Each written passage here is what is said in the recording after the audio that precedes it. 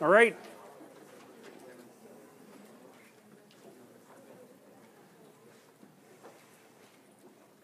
So if there's anybody, is there anybody here who's new? So everybody knows that where to find the website? Okay. Well, that's good. No? Someone doesn't? Who's that saying no? Aha! There you are. Just look up my name on Google and you'll find my website, and then you can find the course. Okay, and all the readings and so forth are there. Unfortunately, some of the links were outdated, and if you tried to get a hold of a TA, you probably got a hold of last year's TA, but because I didn't update all the links blindly. So, anyways, that's fixed, I hope. And with any luck, the website is fully functional. So, all right, so last time I was trying to give you a brief introduction to to a way of looking at symbolic representations. And maybe I should tell you a little bit about symbolic representations first. Um, it's a bit confusing because Freud was, in some sense, the first of the quasi modern psychologists to talk about symbolism. And Freud believed that symbols were often used by the unconscious to represent things that the conscious mind did not want to become conscious of. So, in some sense, Freud believed that the things that you repressed were things that you knew and understood, but didn't want to attend to or believe or understand or integrate or develop or, or even allow to exist. And so the unconscious was reduced to using subterfuge in some sense to get its point across. Now, it's a powerful argument. It's one we're going to return to when we talk about Freud, but I don't think it's right. I, th- I, think, I think Jung's explanation of symbols is, is, is better. I think it's right, although there may be times when Freud's correct, but I think that would be a subset of the times when symbolism is used. Um, imagine that there are different forms of knowledge first. Because it's important to under, it's important to recognize that before you can really think about something like the use of symbolism the unconscious, the use of symbolism by the unconscious. I mean, first of all, there's the form of knowledge that everyone knows as knowledge, which is articulated knowledge, right? And so articulated knowledge is often factual, or it can be procedural because you can tell someone how to do something. But, and everyone thinks of, and, and then there's knowledge about facts of various forms, um, which, which may or may not be true, but that's really irrelevant. That, and that's often the sort of knowledge that you learn, say, in a classroom. Um, procedural knowledge is a different issue because you can learn that by doing or by imitating. And, it, and you know, even in science, which is a, which is a, a, a process and a, and a method as well as a body of knowledge, even in science, a lot of the knowledge isn't explicit and articulated. It's actually procedural. This is something Thomas Kuhn talked about, for example, in his famous book on scientific revolutions, which, because partly when you're a graduate student, for example, or to a lesser degree an undergraduate, it's, it's more relevant when you actually start practicing science. A lot of the knowledge that you bring to bear on the, on the, on the subject is actually implicit. You can't really, you can't really explain it. And so some examples of that might be like learning how to look through a microscope, which turns out to be a very difficult thing. You have to practice for many hours before you get good at looking through a microscope. Or maybe if you're a radiologist, you have to read x rays or fMRIs or that sort of thing. You can build up a body of knowledge that makes you a perceptual expert, but you can't really get that kind of knowledge without practice. You know, it's sort of like learning how to play the piano, say, or learning how to walk, or, or any complex act of perception or action is seldom fully articulatable. And so, so that's another kind of knowledge. You might call that embodied knowledge. And, and, there is a memory form that goes along with that, which is procedural memory, right? And a lot of what you know is procedural memory. And then there's another kind of knowledge, which is, I suppose, autobiographical. Um, and that's often referred to as, say, episodic memory. And autobiographical knowledge would be your memory of yourself as an actor in the world. You know, so I suspect for many of you, Well, let's find out for how many this is true. When you remember an episode in the past, or when your mind is wandering and episodes of the past come up, how would you describe the form in which they emerge? Are they like, how, for how many people are they like little movies? Okay, is there anyone for whom that's not true? Yeah, okay, so, so when you think about the past or when the past comes to mind, in what form does it come to mind? Stills. Stills, okay, but it's still images. Yeah. Is there anybody, uh, okay, okay, fine, fine. Um, there is also knowledge about the past that's semantic knowledge, articulated knowledge, and, and that would be factual knowledge about what you did in the past. But that seems to be, that seems to be a, a more thoroughly processed form of memory, because in some sense what you've done, if you're extracting out articulated knowledge from past experiences, is that you have to, you have to pull out the gist. You reduce it. You know, it's sort of like imagine that you have a conversation with someone and lasts two hours and someone says, well, what did you talk about? Well, you don't repeat the entire conversation verbatim, right? You do some weird job of compressing the information into something like a summary. And you do that more or less automatically, you know. It's quite a remarkable process, actually, because you get the gist or you get the point, whatever the point is. It's not like it's that easy to extract from a conversation. That's another form of knowledge that you can, that you can formulate. But then there's sort of borderline forms of knowledge, you know, and those are the ones that seem to be expressed, as far as I can tell, in something that's more like symbolic representation. So, um, we talked last time a little bit about uh, a parent, say, a parent acting the role of a father. So the parent is embodying whatever father means. And the child's prepared for that because children generally have a father, and of course, children are prepared to interact with men like they're prepared to interact with women. They understand men and they understand women, and a lot of that knowledge comes like hardwired in. So the child might be observing the father across multiple contexts, trying to understand precisely who this creature is, but then also learning how to embody that insofar as she might be learning how to interact with males, or he might be learning how to imitate a male. And of course, there's some of that that's going on with both genders. And then a lot of what's summarized in the, in the acting out, in the pretending, also seems to be like gist. Because when a child imitates his father and is pretending to be a father, for example, he isn't just duplicating exactly what he's seen. What he's doing, in some sense, you might think of as extracting out the commonalities of behavior across different contexts that the Father manifests in order to get a handle on the spirit of the Father. And then it's the spirit of the Father, in some sense, that the child's trying to embody. And that would be whatever makes a father different from a man. And so, you know, you can certainly, I'm sure you know perfectly well when you go home to visit your parents or when you interact with them on a day to day basis, when your father is being a father and when he's just being a man. There'd be voice tone and, and, and, and stance and gaze and, and all sorts of uh, like articulated phrases that you're familiar with that are part of the role of father. And you could see other people's fathers acting like fathers too. Now, it seems to be that a lot of symbolic representation has to do with the extraction of the gist. It's like exactly what is, it's a categorization process. It's exactly what it is that these various behaviors have in common. And what they have, if they're embodied behaviors, what they have in common is something like a spirit. So I think it was Hegel who talked about the spirit of the times. And you know how, uh, if you look at photographs that are like 20 years old, all of a sudden they're dated. You know, for a while photographs look like they're current, and then all of a sudden, poof, they're dated. And you think, how in the world did people think they were normal when they were dressed like that? You know, and, and there, there are, are frequently occurrences in culture where um, there's an emergence of a style that seems consistent across the entire culture, like uh, the Art Deco movement was like that.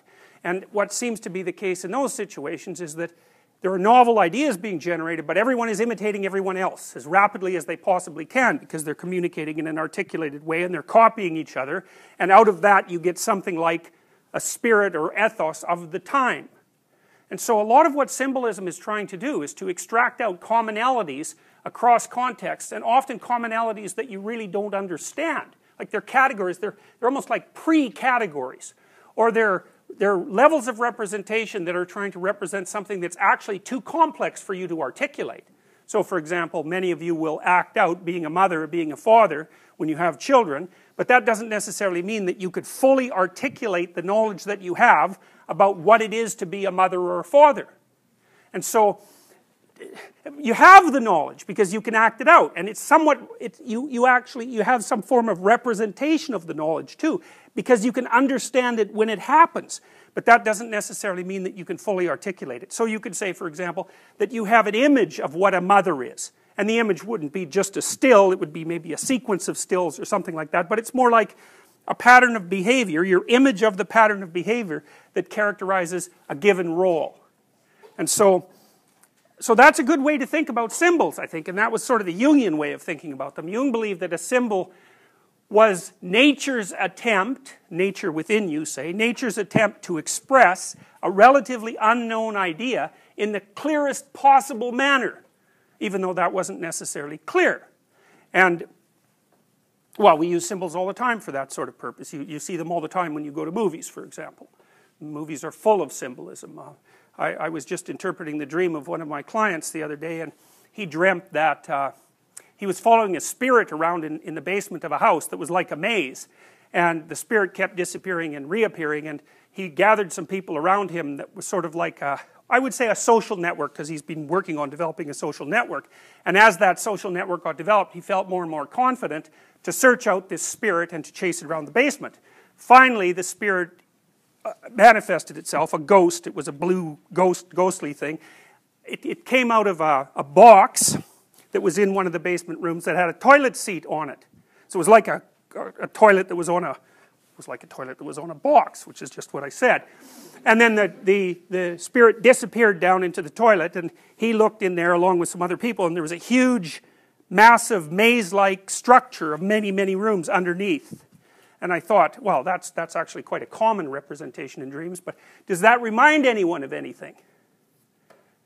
Anything that's not unbelievably pathological? It's like, this, it's like the story in the second part of Harry Potter, right? Do you remember that? So you have Moaning Myrtle, she inhabits the bathroom.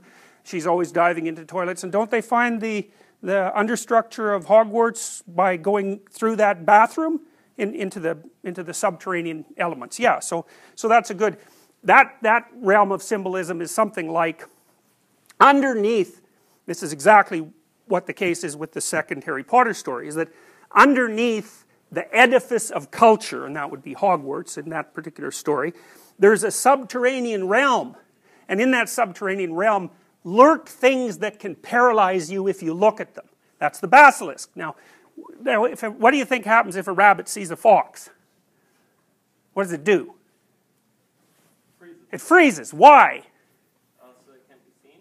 Absolutely, right. The rabbit assumes that it's um, camouflaged. And so, as long as it doesn't move, then maybe there's some chance that the predator won't see it.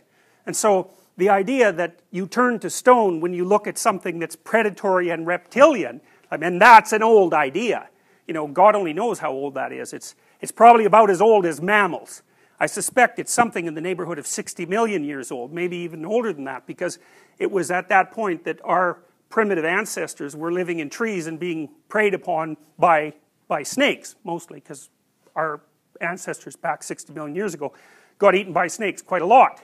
They seem to have co evolved with us. In fact, there's some evidence from a woman named Lynn Isbell, who's quite an interesting scholar, that the reason that we can see so well is actually because we learned, we developed our vision to detect predatory reptiles, most particularly snakes. And the way she found that out was by, because human beings have amazing eyes, eh?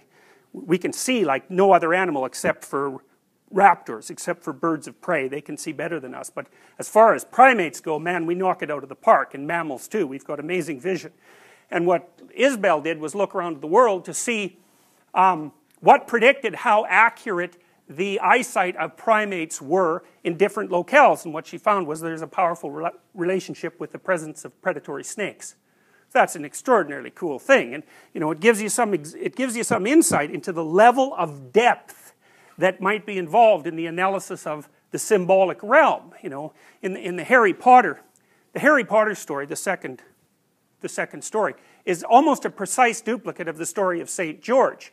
And if you look up St. George on the net, if you Google St. George, you'll see that St. George is usually on a horse, and what he's doing is slaying a dragon, usually. It's not a very big dragon, usually, but it's bigger than his horse, but it's particularly nasty looking.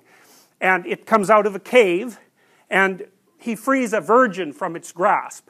That's exactly what happens in Harry Potter, right? Because it's Ginny that's down there. And remember, Harry gets eaten by the, or bitten by the basilisk, right? And it's kind of poisoned, right? And so he's going to die. And then what happens? Yeah, the phoenix comes. And so what's a phoenix? It's yeah, it's a symbol of death and rebirth. Exactly, exactly. And so, what the story, the Harry Potter story says is that if you're fighting a dragon, a snake, something terrible, something that will paralyze you if you look at it, and you're doing that in order to redeem something that redeem something from that encounter, because you often learn things when you do something that you're afraid of. In fact, almost all learning occurs in spite of fear, right? Because to, to learn something, you have to explore something new, and that's usually something that's frightening. And so, what that means is that if you're willing to face something that's frightening, you can garner something of value. Now, it also, meet, it also may well mean in the context of that story, and you see this in the romance that underlies the first part of Harry Potter, is that, you know, the, the man who's capable of standing up to predatory reptiles is also the one who is most likely to attract women. And I think that that's been a truth since God only knows when, too. I mean, we have no idea. But human beings are definitely hunters, right? And men are bigger than women. And one of the things that that suggests is that, you know, a lot of the predatory like activities that are characteristic of human beings were undertaken by males, and some usually males that hunt. But, anyways, we can, we can, put, all that, we can put all that aside. Harry gets bitten by this basilisk. And part of the reason that the story shows that is because it wants to tell you, the story wants to tell you, so to speak, that the danger that you face when you voluntarily confront something you're afraid of in order to learn is actually a danger. It's real. You see an example like that too in the Avengers. Um, I don't remember the guy's name. He's the black guy with the patch over his eye. Who is that? Yeah, yeah. Well, you know that that that uh, the representation of the of the one-eyed hero is also quite common, and you see this, for example, in ancient Egyptian mythology. There's a god named Horus who I'll talk to you about. In fact, I'm going to. there's a picture of Horus actually. Horus is the god on the left there on the on the picture of the left. He's got a face like a uh, like a falcon, and that's because falcons can see. And the reason the Egyptians turned Horus into a falcon is because Horus is the eye. You've seen all seen the famous Egyptian eye. Horus can see. One of the things he sees is evil, and that actually he has an encounter with evil, and as a consequence, one of his eyes gets torn out. And the idea there is that you know, you have to face evil just like you have to confront fear. And fear can paralyze you, and, and, the things that make you afraid can kill you. And in a confrontation with evil, the same thing can happen, is that it can be so overpowering and traumatic that it damages your consciousness. And like these things aren't, these things are real. They're real. I mean, that, that happened to, uh, what's the general's name? Uh, the Canadian general who was there during the Rwandan massacre. Um, he developed post traumatic stress disorder, and he entitled the book he wrote about the development of his post traumatic stress disorder was called Shake Hands with the Devil. And that's really what he meant, because he, he met one of the guys who led the massacre, you know. And anyways, he never really recovered from that. He has post-traumatic stress disorder, and so these things are extraordinary, real. Now back to the basilisk. Well, if you're going to confront something that's dangerous enough and informative enough to, to like virtually kill you, and you're going to survive, what does that mean? It means that your capacity for death and renewal is what saves you. And so you know, you think, you think about this, partly what it means is that, like, there you are, but you learn something. Okay, well, once you learn something, you're not the same as you were before you learned it, right? There's a transformation. So that means you're the same as you are because you're still there, but you're also different. And then you might also ask yourself, well, what do you give up when you learn something? And that's an interesting question because you very seldom learn something that's completely without precedent. Now, if you do, that's really shocking generally, but you generally don't. What happens is, is that you already have a framework of evaluation that you're using to interpret the world. And it, you know, it's good enough to get you from place to place, but it's not 100% accurate. And when you encounter something you didn't expect or something that's frightening, so that you have to transform your knowledge, generally what happens is you have to lose some of what you already presume before you can learn something new. You know, it's like a, a prejudice or an oversimplification or an element of your ignorance has to be allowed to die before you can incorporate the information and then grow. And so you might say, well, death is the precondition for learning, at least symbolically speaking, and that's exactly what the phoenix is attempting to represent in the Harry Potter story. Now, who owns the phoenix? Dumbledore, right? And he's sort of god of Hogwarts, so to speak, you know. So, so the, the phoenix stands in the same relationship to Dumbledore that Christ stands in relationship to God the Father in Christianity. It's exactly the same kind of idea. Well, it's not exactly the same, obviously, but the underlying structure of the idea is very similar. And if you remember, maybe, what happens to Harry Potter at the very end of the, of the series? What, what, what process does he have to go through? He dies, right? And then he comes back to life, right? And he has to die and come back to life in order to defeat evil. It's pretty funny because, you know, a lot of people, especially fundamentalists in the US, were all over Harry Potter for its hypothetically anti-Christian occultism, but, you know, the fundamental story, I wouldn't say it's Christian exactly because it's actually older than Christianity itself. But the main themes in Harry Potter are like Christian symbolism informs the main themes to a great degree. You know, and it's funny because most of the time when you go see this sort of thing, how many of you watched all the Harry Potter movies? Yeah, like what the hell's up with that, you know? This woman got people reading 700 page books and when they were 10 years old. I, I, suspect a lot of you were those people. You know, so why were you so interested in that stuff? For God's sake, it's about a magic orphan. What's wrong with you people, you know? magic orphans?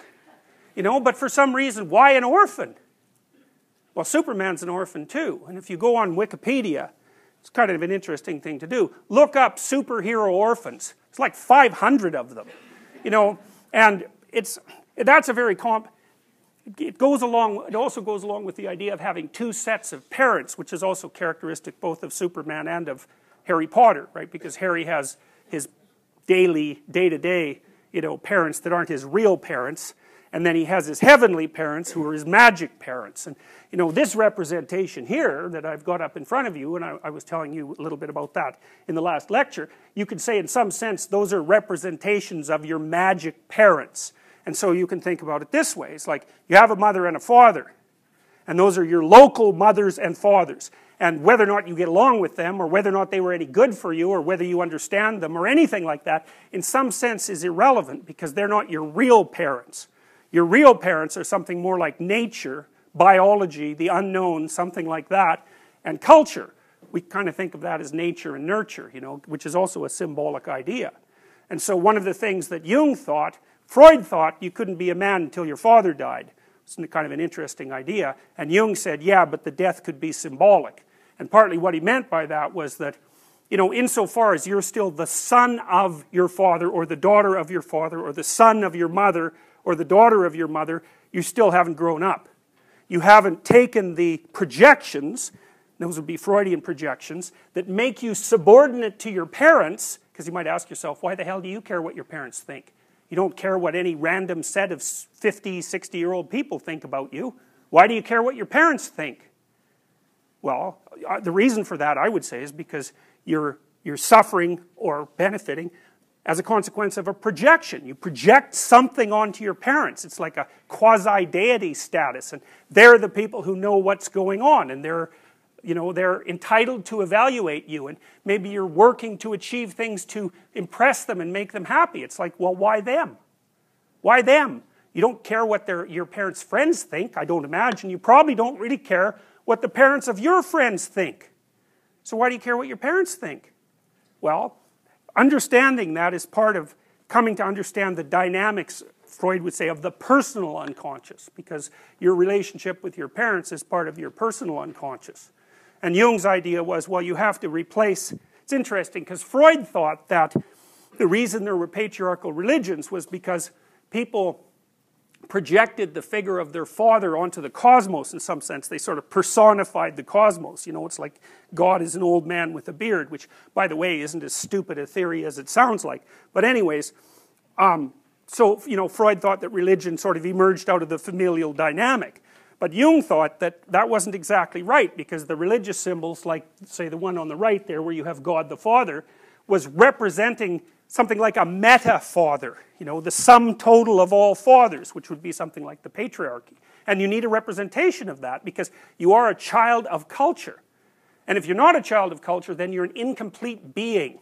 And you also don't want to confuse your parents, or your father, let's say. I mean, there's masculine and feminine elements in both parents, but for the sake of simplification, I'm going to lay it out the way I am laying it out. You don't want to confuse your father with culture or history.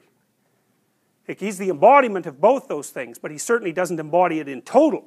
And your primary relationship, in some sense, your personal relationship is to your father, but your primary existential relationship is actually to culture itself. Now, I can give you an example of that too, a quick example. How many of you seen Pinocchio? Yeah, so anybody not? Well, you, you should watch it. it's a great movie.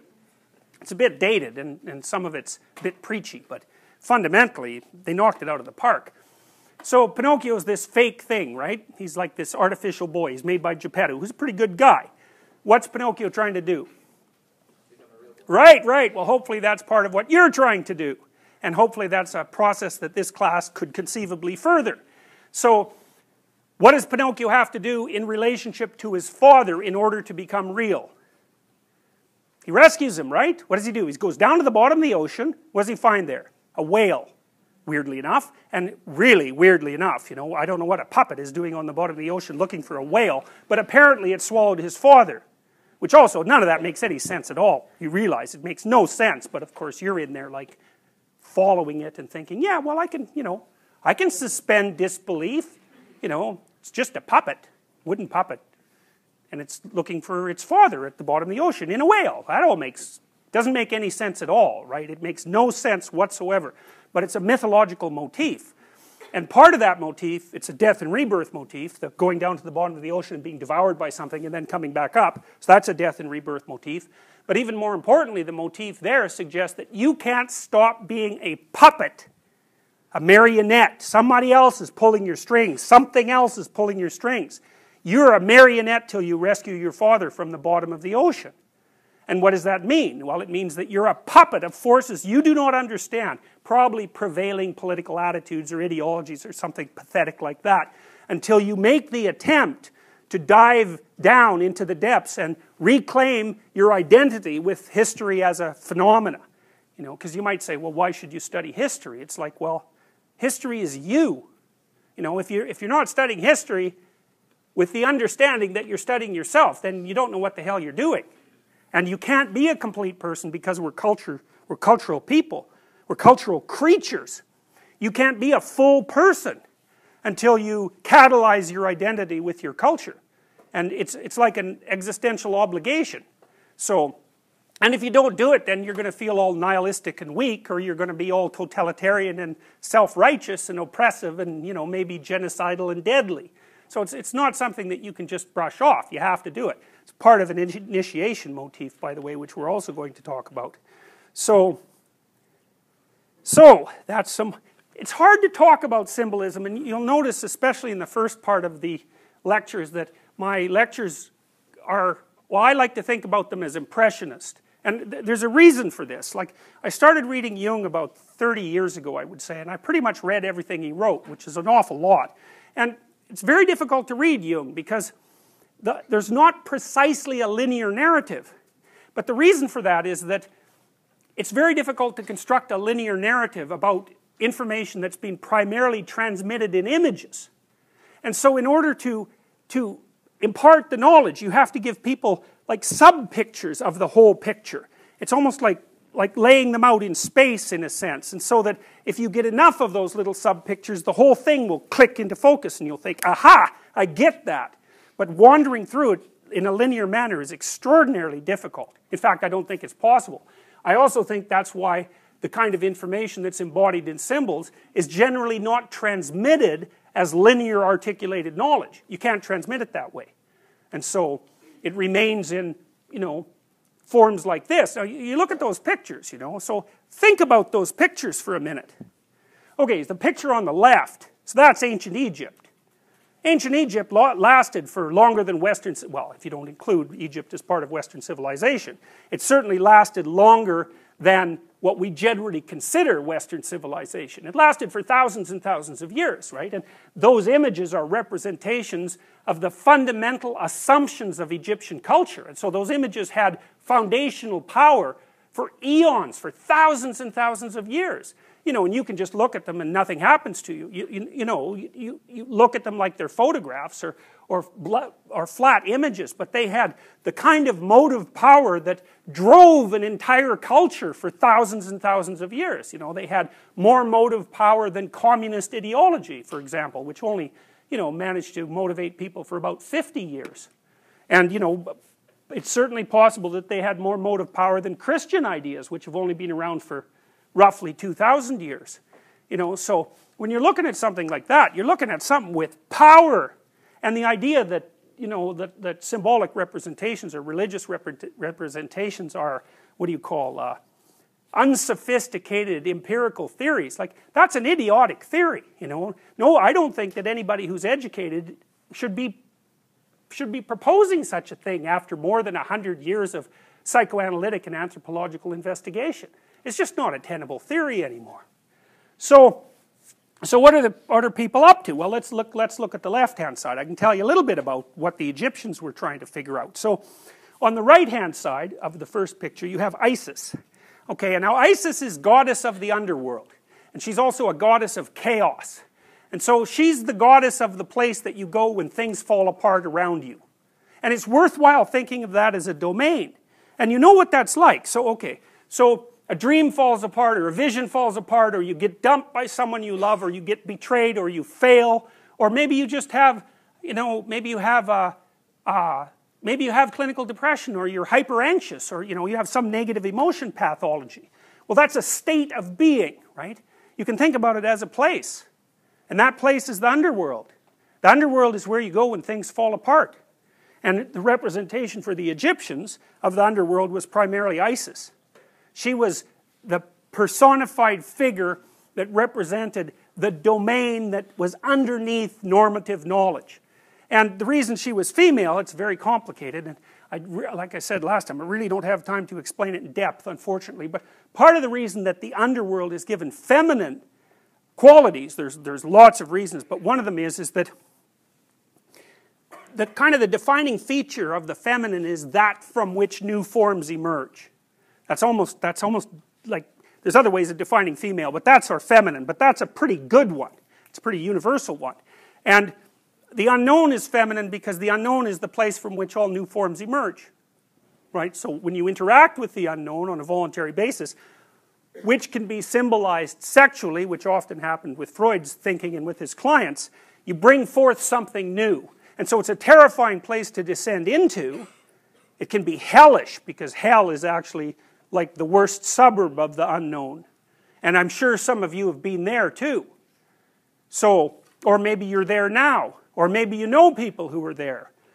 So it's a very, very rough place to visit, especially if you do it accidentally. But and you, you, if you go there, especially accidentally, you might never come out. But if you do come out, maybe you've learned something. Maybe you're new in some way. And that's another reason, in some sense, why the feminine is a symbolic representation of the unknown because there is a death and rebirth motif there, and birth is always associated with the feminine. So, um, can I remember the word?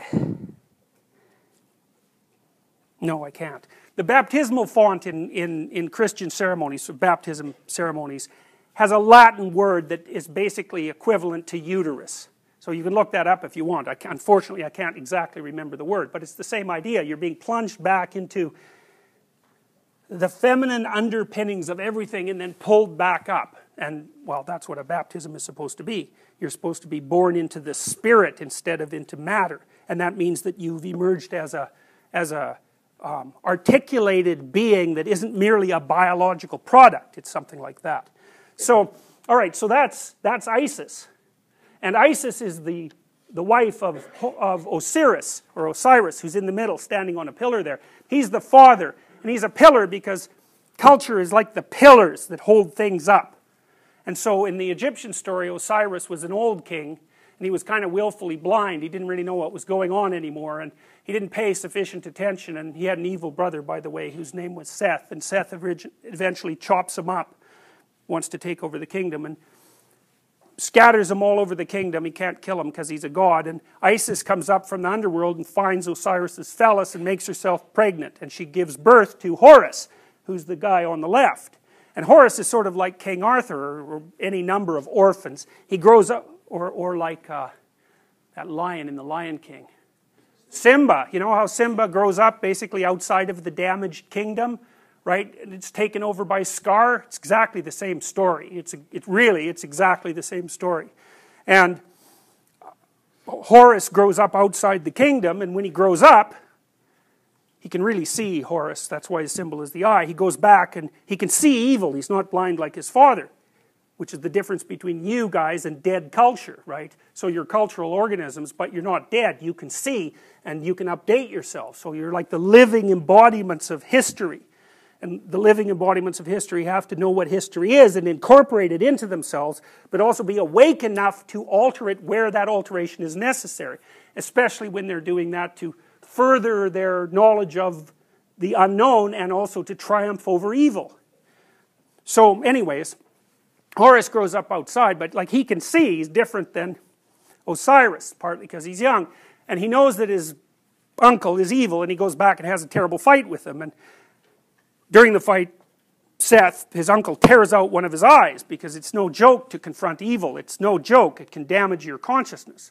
Anyways, Horus wins and he gets his eye back and then he banishes Seth to the nether regions of the kingdom because you can't get rid of him either. You can't kill him. He's potential for corruption in an institution is always there, so there's no permanently getting rid of it. There's only controlling it from time to time. Anyways, so he gets his eye back, and then instead of putting it back in his head and being king, which you'd expect him to do, he goes back down to the underworld. And he finds his father there because his father, chopped up, is also a spirit who inhabits the underworld. And he gives his father the eye. And then the two of them go back and rule the kingdom together. I tell you, it's one of the world's most brilliant stories. It's a staggeringly brilliant story because it says that active youth should be the guiding property of the state because the, the Horus Osiris combination was actually what the Pharaoh imitated when he was being a good Pharaoh. It's dynamic vision that should be the guiding principle of the state, but it should be allied with tradition. It's brilliant. You know, it's one of the things that the radical revolutionaries of the 1960s never figured out. It's like, well, don't trust anybody over 30. Well, that's a really stupid idea, especially since you're going to spend half, two thirds of your life over 30. What the hell good is that? So the idea is that you're supposed to embody your tradition and be awake at the same time. And that if you do that, then you'd be a good ruler of, you know, of yourself, of your little family, and if you have an opportunities beyond that, then of whatever organizations you have to be, happen to be involved in. That's exactly what should be happening to you at university. It's the whole point of going to university. You know, it's not a trade school. Not, not that there's anything wrong with trade schools, quite the contrary, but that's not what university is for. It's to turn you into creatures that aren't marionettes. And to do that, you have to follow a mythological path. Or you can be chaotic and random. Those are, or sub, like I said, subject to some idiotic totalitarian ideology. But, you know, I wouldn't recommend either of those paths because they're not going to get you very far for very long. So, that's the Egyptians. Brilliant. And it's not like they understood that story. They told it. That's different. It's just like you think, well, how can you tell something you don't understand? It's like just like you can watch Harry Potter and not have a clue what's going on. It's exactly the same thing. And part of it is, is that there are, you have levels of understanding that make you up, but that you don't simultaneously understand. You can't articulate them. So you're a multi-leveled, multi-leveled creature. And the part of you that's conscious and articulate is floating on a massive substructure that's neither conscious nor articulate. You know, that's in some sense striving to become conscious and articulate, but that can never be completely either of those things. So, it's part of the pain of being half spirit and half matter. And so then on the right, you know, you have another set of symbols which are quite similar. Um, Although, you know, they come about the story in a completely different way. So I told you a little bit about them before.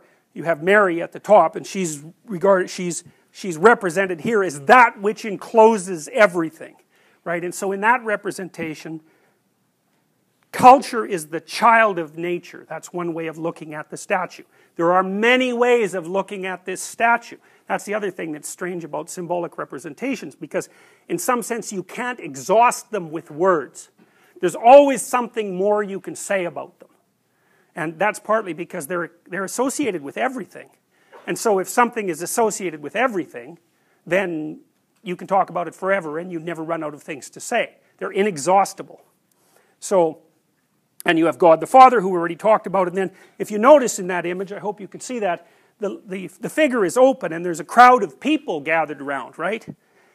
And they're all looking at the central symbol, which is the crucifix. And you know, you might be thinking that, you know, billions of people over the last 2,000 years have spent a substantial amount of time doing nothing but gazing at the crucifix. It's like, why?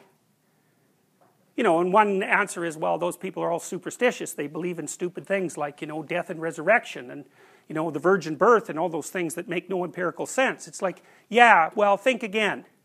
You know, it's not a matter of simplistic belief. It's a matter of belief structures that are so profound that you can't articulate them. You don't know what they mean. And so to gaze on the figure of the dying and resurrecting hero is to understand that a huge part of what redeems you in life from evil and from the things that terrify you is your capacity to let go of things that are outmoded and dead and to revitalize them as a consequence of new learning. And it's the very soul, it's your very soul. It's the very, it's the, it's the living part of you. And that's the part, the thing that's so interesting about this is according to the, to the wisdom traditions of mankind, that's the part of your spirit that protects you against fear and pain. Because you might say, well, you know, if you don't want fear and you don't want pain, you should build a big wall around yourself and wrap yourself up in styrofoam and sit right in the middle, you know, where nothing bad is ever going to happen to you. But, you know, first of all, that's obviously ridiculous. And second of all, you die of boredom in no time flat if you did that. You cannot be protected from the things that frighten you and hurt you. But if you identify with the part of your being that has the capacity for transformation, then you're always, then you're always, you're always the equal of what it is that's opposing you, or maybe more than the equal of it. So you can either depend on the walls that protect you from things, and so those could be like actual walls or cultural walls or totalitarian beliefs or rigid thought patterns or anything like that, or you can rely instead on the part of you that's voluntarily able to confront things that are frightening and painful and triumph. And the, the, the, the, deepest story of, of humankind is that that's the part of us that's the most powerful. You know, weak as we are and subject as we are to all sorts of terrible things, what do you need for protection? That's what you need.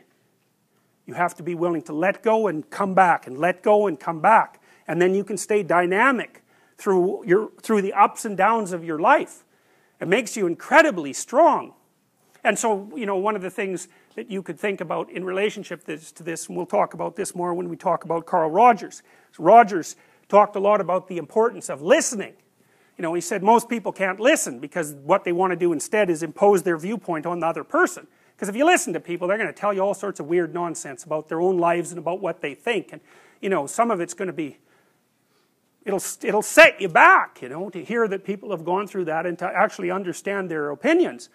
If you can listen to them, well, then you can open up an exchange of information and that can transform both of you. And Rogers regarded that as an absolute necessity in the therapeutic context and even in the context of profound relationships. But he said, you know, most people won't do that because they want to cling to what they already have. And so one of the things you can think of, and this is, this is worth thinking about for five years. Here, here's something to think about. What's your friend? The things you know or the things you don't know? First of all, there's a lot more things you don't know. And second, the things you don't know are the is the birthplace of all your new knowledge. And so if you make the things you don't know your friend instead of the things that you know, well then you're always on a quest in a sense. You're always looking for new information on the off chance that somebody that doesn't agree with you will tell you something you couldn't have figured out on your own. It's a completely different way of looking at the world.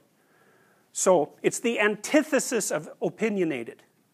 So, okay, so here's some.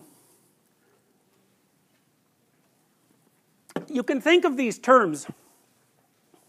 Let me give you an example. So I was just reading this research paper by one of the people in our department, and he was looking at, he's found out that people are better than chance at determining sexual orientation when they look at cropped faces that are grayscaled with no hair for 50 to 100 milliseconds. That's pretty fast, eh? It's like you're not thinking about it at that speed. It takes you half a second to think about something. Maybe a little less, but 50 milliseconds to 100 milliseconds, man, that's automatic processing. Okay, so he found that if you show people faces, then they can predict with better than chance levels of accuracy, accuracy what the sexual orientation of the person is. Now, we don't know exactly how they do, do that, but the other thing he found is that if you're exposed, say, to a face that you judge as uh, homosexual, let's say, and then you're given a bunch of cognitive tasks where if you, stare, if you use the articulated stereotypes of homosexual people, you'll perform better, that you do perform better.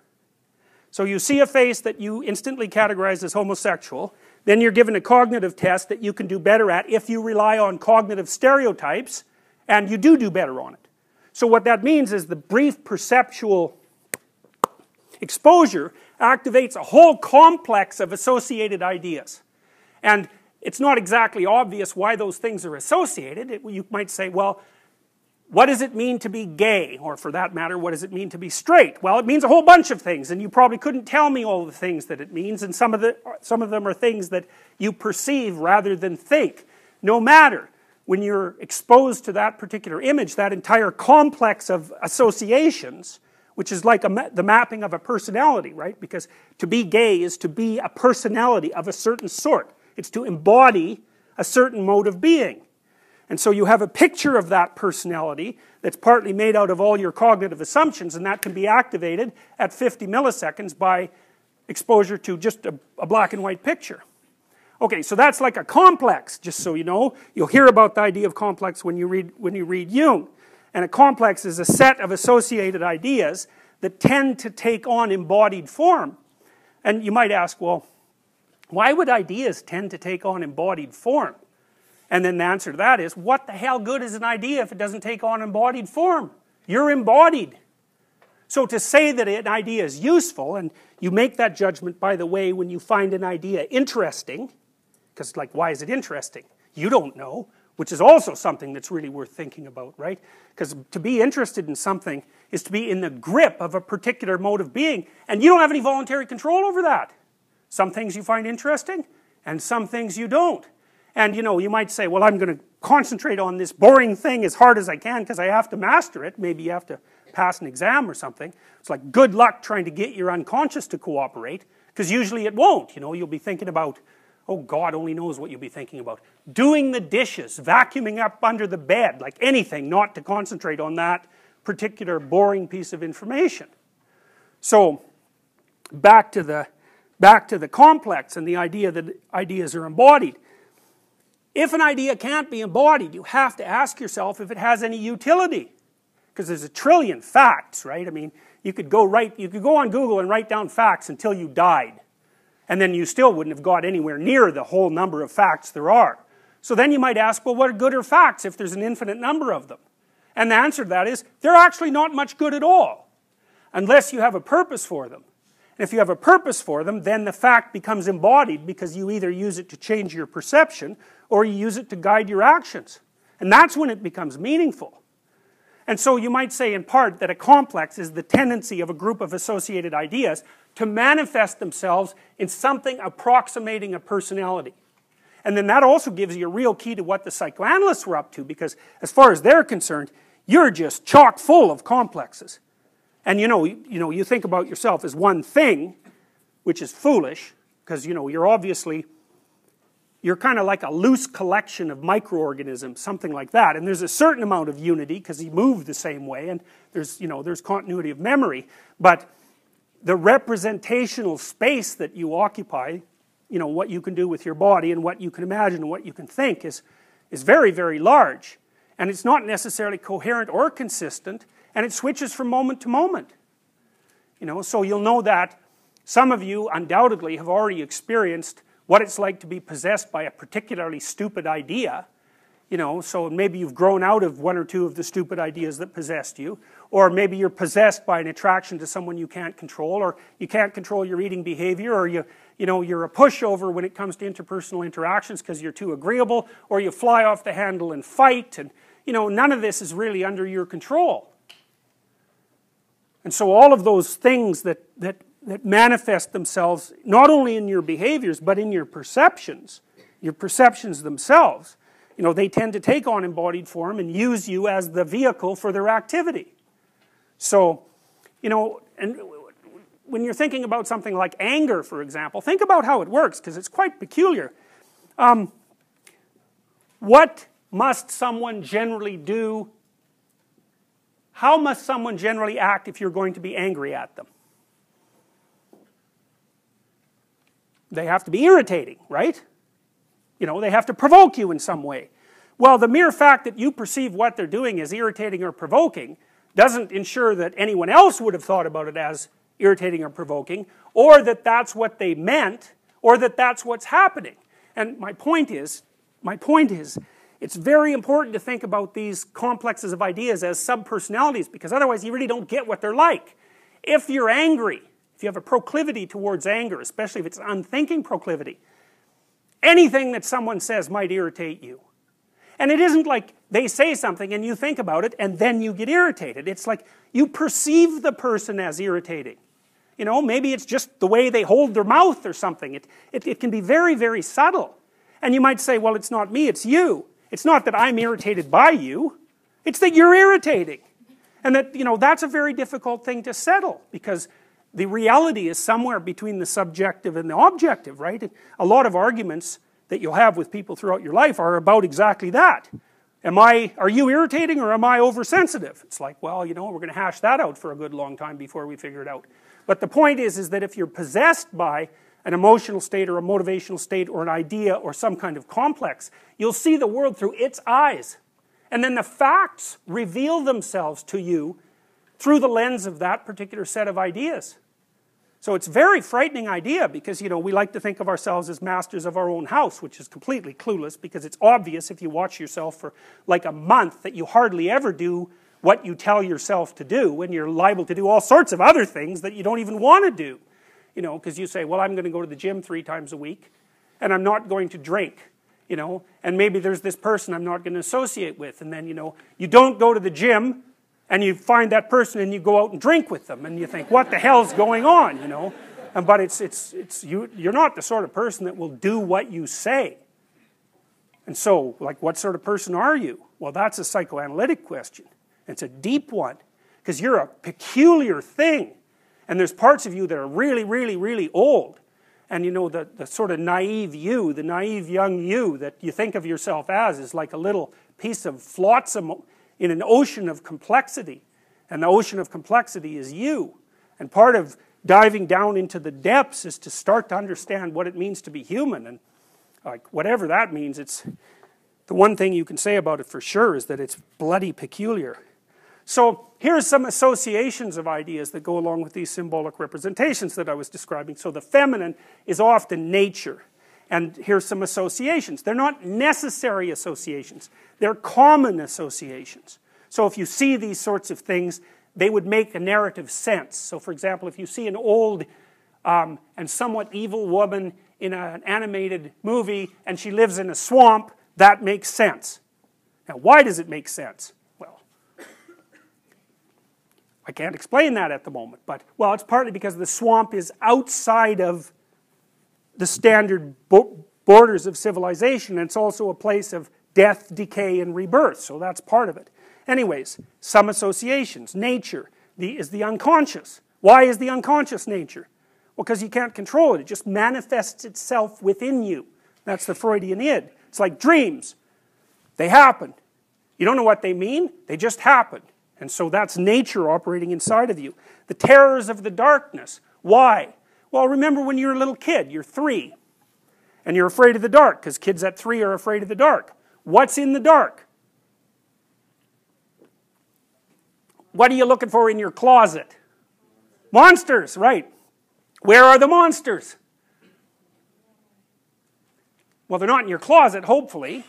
So, but that's not to say that there couldn't be a monster in your closet. And it's also not to say that when you look at your closet when you're a little kid that you're looking at your closet.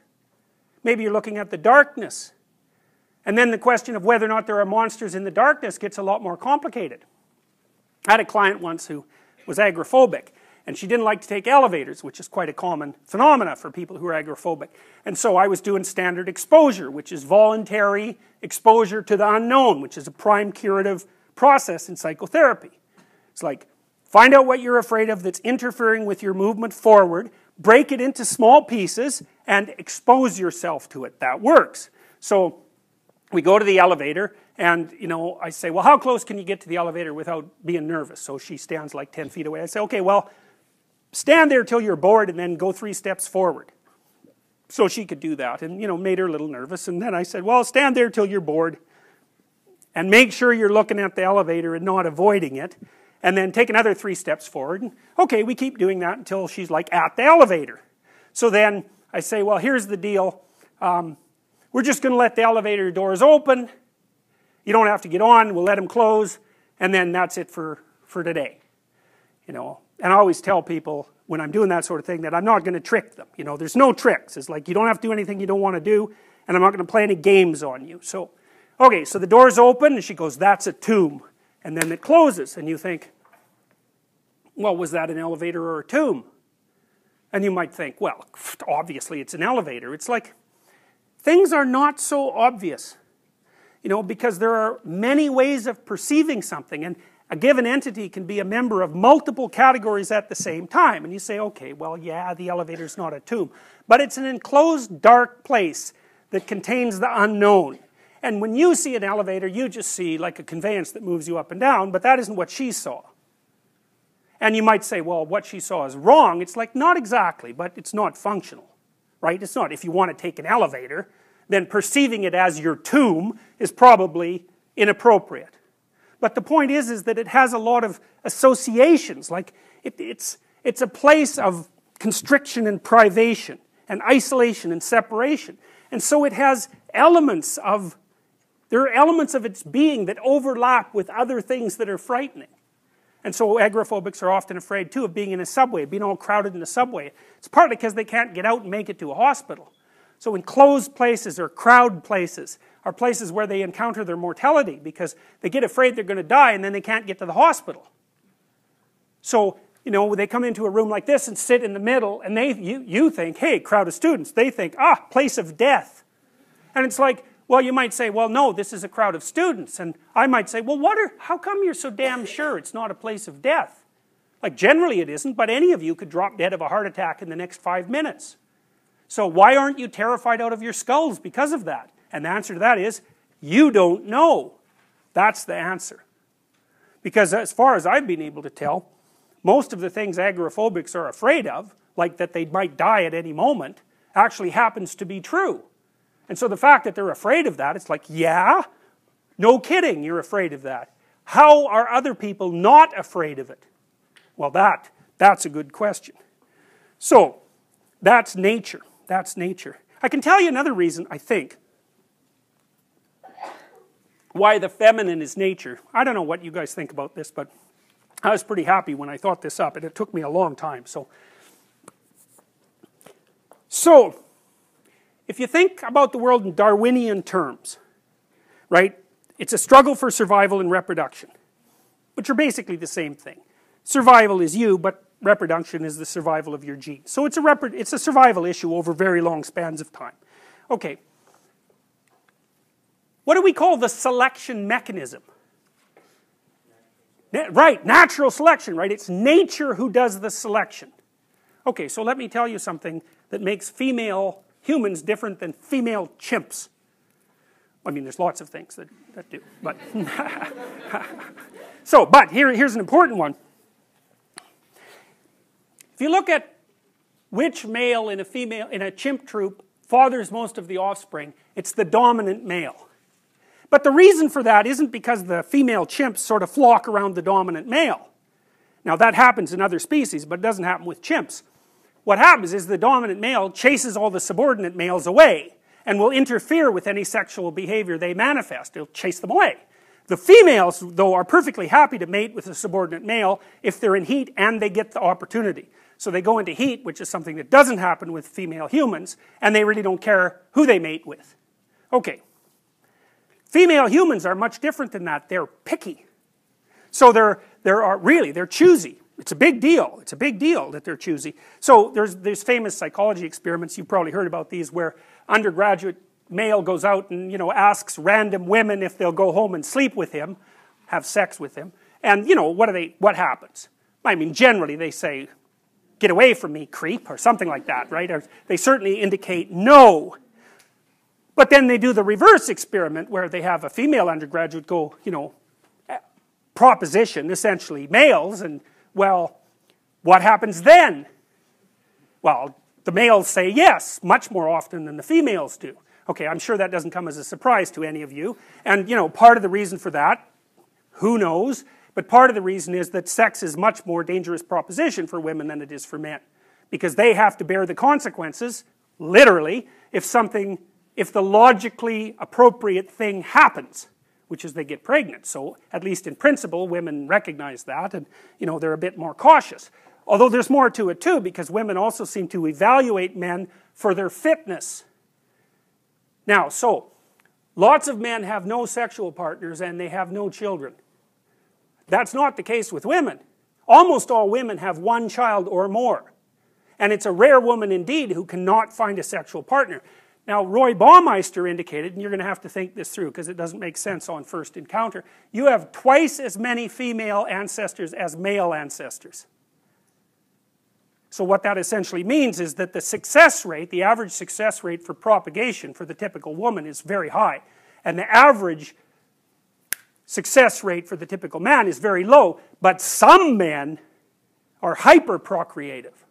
Okay, so men are subject to selection pressure and many of them fail. Here's, here's an interesting statistic. I think this came from Dataclysm, which is a book that was recently written about one of those online dating sites um, a big one, can't remember its name, but he was looking at things like how the typical woman on the dating site rates the typical man. It's pretty funny, eh? Because women or men actually rate women on a normal distribution. So the typical woman scores at the 50th percentile, and half of them are above average and half of them are below. What do you think the equivalent is for women rating men? And everyone laughs, especially the women. So, what do you think it is? It's 85 15. 85% of men are below average. yeah, it's annoying, you know, unless you happen to be one of the 15% who isn't. You know, and those are the 15% of the guys who are having all the sexual encounters in a relatively sexually liberated environment, too. Okay, so why am I telling you all this? Women select men. That makes them nature. Because nature is what selects. And so, you know, you can say, well, it's only symbolic that women are nature. It's like, no, it's not just symbolic. It's not just symbolic. You know, and the woman, in some sense, is the gatekeeper to rep, is, not in some sense, is the gatekeeper to reproductive success. And you can't get more like nature than that. In fact, it's the very definition of nature. So, as I said, there are lots of reasons why these symbolic representations are set up the way they are. All right, so that's the great mother, nature. The queen, the matrix. The matrix is something from which all things form. Same root word as matter, mother, all the same root word. The matriarch, the container, the cornucopia, the object to be fertilized, the source of all things, the fecund, the pregnant. There are more parts of the association network. The strange, the emotional, the foreigner, the place of return and rest, the deep, the valley, the cleft, the cave, hell, death and the grave, the moon, ruler of the night and the mysterious dark, and matter and the earth. So those aren't necessarily associated with femininity, but they're typically associated with femininity from a symbolic perspective. You know, so like generally, like a witch in a movie doesn't come riding out of the full bright sun at noon, right? That just doesn't happen because it doesn't make sense. It's a dark thing. And so if you saw that occurring in the light in a movie, you'd think, you know, what the hell's going on here? That doesn't make sense. And the reason it doesn't make sense is because it's, it, violates the, it violates the complex, the symbolic complex. So, those are sort of, those are sort of female, those are female denizens of the underworld and hell. Very pleasant creatures. It's like uh, Medusa with the head of snakes, you know. And if you might, if you ask, you know, why would a woman have a head of snakes in reference to a man? And that's really simple. I bet there are men here who know the answer to that. Come on, Jesus, think about it.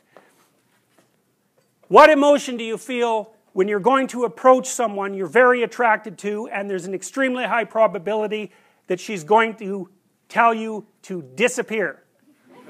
Right, exactly, absolutely, because it's a real judgment, right? We're going to see a movie called Crumb where you'll see this in great detail. But it's a real judgment. It's like the best judgment is, well, I don't mind your physical presence, but your genes should definitely not survive another generation. right, and that's sort of generally translated into, I think we should just be friends. right, you know, and you can blow that off, and people do, and you have to because it's part of being polite and civilized, but you know, let's make no mistake about it. There is no more fundamental judgment than that. So, paralysis. And there's no shortage of men, I mean, who are absolutely terrified of women. I mean, I've had many of them in my practice. You know, I had one guy, he was so terrified of women he couldn't even talk to them on the phone. It's more common than you think. So, but it's generally manifested by men who, do, who no one cares about, so it's generally irrelevant. So, well, it's the, it's the case. It really is the case. I'm, I'm not kidding. They're low status men. You know, they're people that are generally regarded as losers. And there isn't anybody who really gives a damn about what happens to them one way or another. And there's a lot more men in that category than there are women. Women are in all sorts of, you know, social categories that cause them misery and distress. But that one seems to be predominantly male. One of the things I'm going to do when we talk about Freud is I'm going to show you this movie Crumb, which I just told you about, and it, it's actually it's a very rare thing because it shows you the world from the perspective of very intelligent male losers, and that's just not a perspective you ever see because it's the winners that tell the stories about their life. It's like who the hell cares about the life of a loser? But this movie is about a loser who became a winner, and you know almost as an act of revenge, and. Uh, it's great, it's great, great, great uh, examination of the Oedipal complex. Remarkable. So, those are Hindu representations of Kali. I could tell you a little bit about Kali here, just the middle representation I'll use. So, um, she has eight legs, spider. Spiders spin a web. The web is fate. The web of fate traps the unwary nature does that. She's in a web of fire. The uh, little fire arch there, which is a mandorla, you can look that up if you want, is also made out of skulls. That's what's on the inside of it. So it's, it's skulls on fire, roughly speaking. Um, her hair is on fire, and she has a headdress of skulls. And uh, this guy she's standing on, she just gave birth to him, which is why her belly is hollow, and she's eating his intestines. So, you know, and that's a deity. You might think, well, why would something like that be a deity? And it's something like, uh, well, it's the sum total of all fears. And you know, you might think, well, you don't believe in that sort of thing. It's like, yeah, you do. You just don't know you do. Of course you do. You can't not believe in it. You know, you're, the manner in which you allow it to be represented and what you do with those representations, that's a whole different matter. But you know, you're not watching vampire movies for nothing, right? You say, well, you don't believe in vampires. It's like, that's actually not true. You believe in them enough to go watch them on movies. So, like, wh where are you going to define belief exactly? If someone comes up to you and says, Do you believe in vampires? You know, you're going to say, Well, no. And then they'll ask you, Well, would you spend like two hours this month watching them? And the answer would be yes. And so you might think, Well, which is the better indicator of what you believe? Like, what do you know about what you're like? Who cares about your statements about yourself? You know, you think you have privileged access to what you're like? You don't. You've only been around for 18 years. You know, and you inhabit this body that's been built up over 400 million years of life. Something like that. It might be longer than that. So it is longer. I mean, that's when crustaceans emerged. Life itself is much older than that. So, you know, the people who made this representation of Kali, assuming they made it, which they really didn't, because it manifested itself in their imagination, which is a completely different thing, they're trying to come to terms with something pretty awful. Or you might say they're trying to come to terms with the category of all awful things. Or you could even be more sophisticated than that, and you could say they're trying to come to terms with the category of all awful things that also reveals new life. That's a terribly paradoxical thing because Kali can be transformed into something positive. It's like, you know, logical people think, well, something can either be A, it can't be A and not A at the same time, right? That's a fundamental logical proposition. But then, so let's say you have a, a boyfriend or a girlfriend. You don't, you can't hate them and love them at the same time? I mean, half your life or three quarters of your life will be in that state, you know. Families, it's like,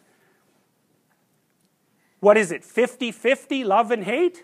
What, what defines a familial relationship might be intensity rather than, you know, whether it's love or hate. It's intense. And so you can certainly have a completely paradoxical relationship to yourself or to another person. And so part of what happens with these symbolic representations is that they're, they're more accurate than mere logic. Because life is one of those, life is composed of oppositions in conjunction and oppositions in conjunction simultaneously.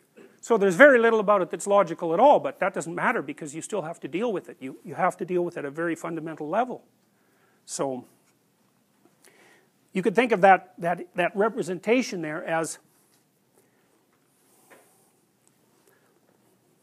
we'll walk through it again. Let's think about things you should be afraid of. It's a funny category. Well, an animal wouldn't really have a category of things to be afraid of. What an animal would have is specific things they're afraid of. Okay, and so then the animal would have to learn what do you do in the face of all those specific things that you're afraid of? So, you know, maybe you, I don't know, you, you climb a tree if, it's, if you're a monkey and it's a jaguar, maybe, and you go under the underbrush if you're a monkey and it's a, predatory hawk, something like that. You've got these individual escape mechanisms that are tied to the specific stimulus. But then there's human beings who are capable of abstraction. And so you might say, well, there's a class of things to be afraid of. It's those things that you should be afraid of. Those are the things that go bump in the night, right? You're always exposed to them when you go to horror movies, especially if they're not the gore type of horror movie. They're always hinting at something going on outside of your perceptual sphere and they frighten you because you don't know what's out there. And so the Blair Witch Project was a really good example of that because nothing ever happens in that movie, but it's, you know, it's, it's, it's frightening and not gory, so it's, it's kind of an interesting horror movie. It plays upon the fact that you do have a category of those things to which you should be, those things about which you should be afraid. So it's a category, frightening things. And then and only something capable of abstraction could come up with the category of frightening things. And so Kali is like an embodied representation of the category of frightening things. And then you might ask yourself, well, once you come up with the concept of the category of frightening things, maybe you could come up with the concept of what to do in the face of frightening things, which is not the same as what do you do when you encounter a lion, or what do you do when you encounter someone angry. It's a meta question, right? You could say, you may encounter a frightening thing. What's the thing? What, you should do, what should you do about it? But then you could say, at a philosophical level, you will encounter elements of the category of all those things that can frighten and undermine you during your life. Is there something that you can do as a category that would help you deal with that?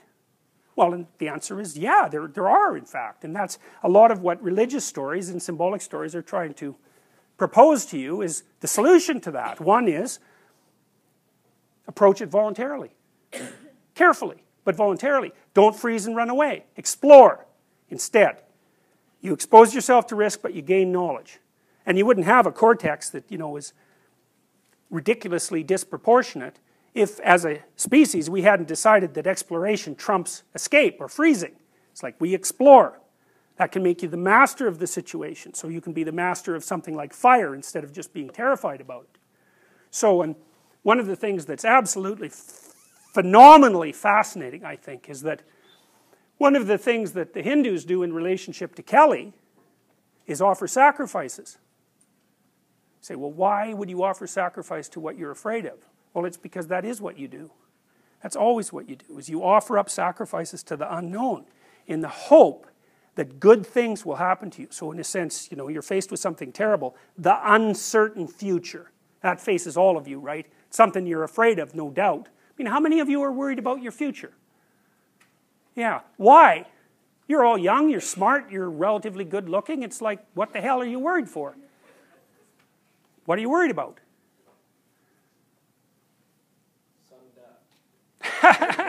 yeah, right in this classroom, right. Well, maybe you're worried about what you're going to do or who you're going to marry or what your job's going to be or, you know, your health or your family or there's a whole category of things to be worried about. So then you think, well, you're worried about the future. So what are you doing in university?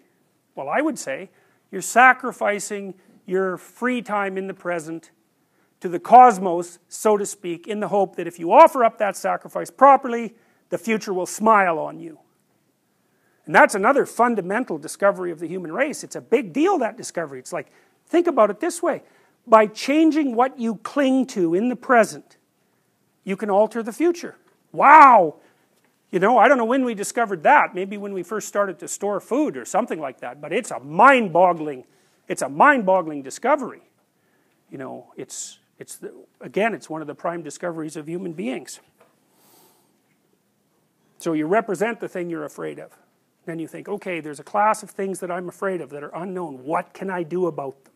Well, that's a really good question. It's a sophisticated and complicated question. And we do know the answer to some of it. It's like approach cautiously, voluntarily when necessary. Don't run. Especially if the thing that's in your way, if the thing that frightens you is opposing your movement towards a valued goal, do not freeze and run away. Because the thing will grow if you do that, and you'll shrink. So that's a bad strategy. So.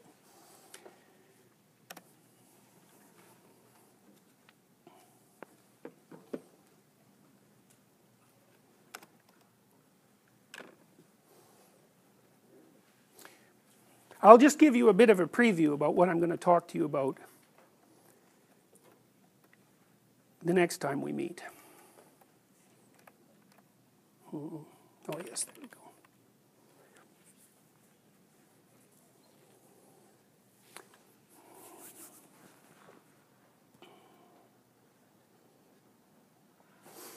I want to talk to you a little bit about initiation rites. And I touched on them a little bit today when I was talking about things like rescuing the father from the depths. So, what Pinocchio does is essentially an initiation rite. And there are elements of that that are also embedded in the Harry Potter stories, because, for example, his descent into the unknown underneath the school and his encounter with the, the phoenix are all parts of a very complex initiation rite, right? And he basically his adventures set him on a path that makes him the savior of his kingdom. That's fundamentally the, the entire story of Harry Potter. There are, there are ways of catalyzing that identity. And some of them have to do with the fact that you're a multi level creature. So, and this is a tough thing to grasp too. You know, when you look at someone, you think, well, that's what they look like. But, you know, it's really not the case in, in very many important ways because they have molecular and micro substructures that you can't see. You don't see the back of them. You don't see their family. You don't see the political systems they're embedded in. And you don't see them across time. Right? So the thing that's there is way more complicated than the thing you see.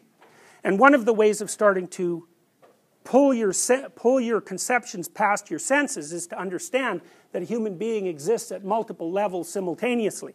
And that part of psychologically, expansion of psychological knowledge is to become aware of those levels and to, in some sense, move up and down them so that you become conscious of them. And I would say, in part, the initiations that we're going to talk about are, are embodied dramatizations of the process and mo of moving up and down the multiple levels of being that a human being exists upon. And that the psychoanalytic process is a subset of that process. So the the Freudians, the, the Jungians, the people who were interested in symbolism and the unconscious and depth psychology were interested in expanding your conception of who you are beyond what you can articulate. And then you have to ask yourself, well, do you believe that there's more to you than what you can articulate? And if the answer to that is yes, then you might think, well, is that worth exploring? And that's, that's really what we're doing for the next five lectures or so. So we'll see you next Tuesday. No, Thursday.